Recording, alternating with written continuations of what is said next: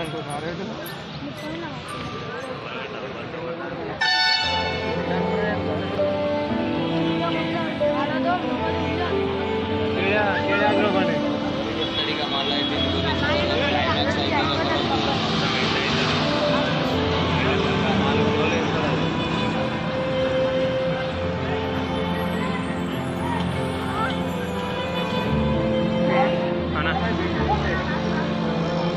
చెయ్యక్కర్లేదు.